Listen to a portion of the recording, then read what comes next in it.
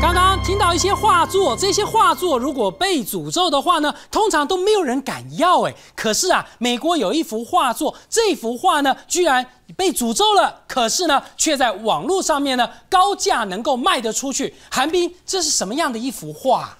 大家可以看一看哈，这个画，你看会不会觉得有点诡异？两个小孩，，那另外那个不是小孩，那个是个娃娃。哦是个娃娃。那那不是真人哦，是个娃娃。嗯，那这个是一个 Bill Stonehand 这位作家画家画出来的东西。那他当初画出来的时候呢，他其实认为这个代表他自己。当然你看哈，就是他后面这个小男孩就是他自己，哦，对。小男孩旁边那个是旁边那个是画像你的娃娃，那个是画像里的娃娃。嗯。那这娃娃是干什么呢？他是梦幻跟现实两个境界之间的使者，它能够穿梭这两个世界。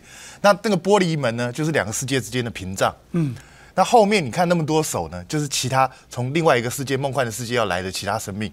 嗯，然后这幅画叫 Hands Resist Him，什么意思？就是用伸手去抗拒它，就是它抵挡在这个两个现实跟梦幻之间的世界。那这个再来讲是个人色彩很浓厚的一幅画，那我们不会觉得说它有什么特别，但是问题是所有人看到这幅画都会觉得很诡异。那这个这个作家呢，他后来就把这个画交给一个画廊老板去陈列，然后拍卖，然后后来也卖掉了。可是呢，这个画后来就失踪了。哦，对，那那连 Bill Stonehand 他也不知道这幅画跑到哪里去，但他只知道一件事，就是当时看过这幅画的有一个洛杉矶时报的评论家，然后还有这个画廊的老板，都在一年之后都死掉。啊这么严重哦？，对，那后来呢？这幅画流落到哪里去呢？它流落到一个酿酒厂，一个废弃酿酒厂后面的一个空地上去，然后被人家捡到。他捡到的这个人呢，他捡到没多久之后，就把它拿出来卖，在在易趣网美国很有名的一个拍卖网站上，就把它拿出来卖。他为什么要拿出来卖呢？他在网站上也有说明理由，因为他当初捡到的时候觉得这幅画很棒啊，画的很好啊，就是一个创作嘛。对啊，那他也觉得哎、这个是蛮有水准的一个艺术作品，那他就把它捡回家里头去放着。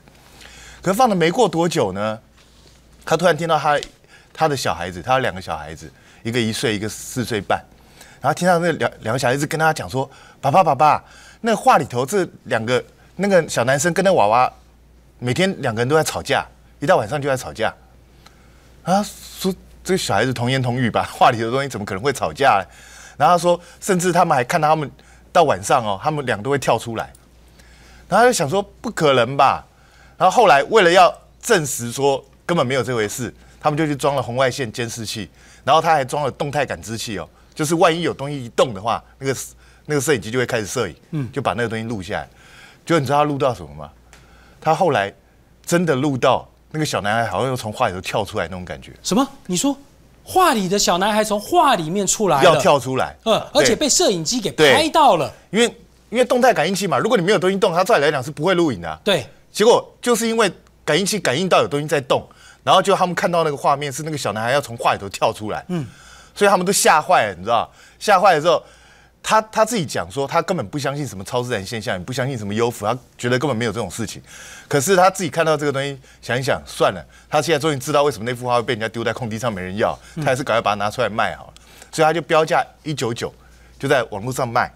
就一卖呢，短短没几天时间，聚集了一万三千人去浏览这个网页。啊，他还注明了这幅画的来历，但是却有这么多人想要买这么样一是幅灵异大家。大家都来都在跟他研究，然后还帮他出很多主意。有的人就说：“哎、你家里头是不是是不是有一些奇怪的现象？是不是会发出很奇怪的臭味道啊？是不是有人在你家走来走去啊？是不是会出现很多奇妙的那种超自然现象啊？”然后甚至还有人就叫他建议他去驱魔啊，或做那种祈祈祷仪式啊这些东西。然后他就因为建议的人实在太多了，有三十几个人写信给他，然后还有七封 email 给他，传授他，告诉他应该怎么去处理这件事情。然后到最后，他还特别在网络上澄清，就说他觉得这个就是一封一就是一幅普通的绘画。那所所谓的超自然现象，他到现在还是不相信。他觉得可能他当初录到那个画面，只是录影机出了什么状况，他也不晓得。然后希希望大家不要就信以为真。那但是问题是，很多人也跟他反映说，他们家的人看到这个之后，会突然看到这幅画，就在网络上看到他这个这个画像而已，就突然昏倒。嗯，然后有的小孩子会突然之间尖叫怪叫，发出很奇怪的哀嚎声。然后，然后很多人看了之后会头昏，身体不舒服。然后他就说，如果有这种现象的话，那他只能建议就是说，第一个，你不要把这幅画当做你的电脑的桌面，哈，就是你尽量不要去看到它。第二个，千万不要让青少年跟小孩子去看到这个东西，啊，还是只能这样建议大家，因为他觉得说还是不太可能会有这种事情。但是问题是呢，就是看到这幅画的人，其实大家反应都不一样。有的人就觉得，哎，这只是一幅普通的画，很好啊，没有怎么样啊。那有的人就觉得，怪实在太奇怪，我还是不敢看。根本不敢看这个东西。问题是呢，它本来一开始起标价是一九九，对不对？结果呢，你知道它最后飙到多少钱？嗯，飙到一千零二十五块美金。哇，多了快十倍的钱。就是直接在地上捡到了这个东西，居然卖卖到这么多钱，哎，将近三万块台币，差不多三万块台币。所以他自己很惊讶，然后他就他就写信告诉大家说，这幅画就到就拍卖就到此为止。那希望大家不要再多做联想，因为他觉得都没有这些事情。那。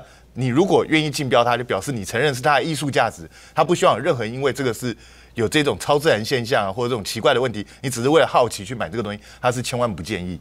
那就现在就连本来的作家 Bill Stonehand 这个人，他在他自己的网站上也同同样再次陈列这幅画，他下面还注明呢，就如果你有需要的话，我随时可以重新再帮你重新画一幅同样的画给你。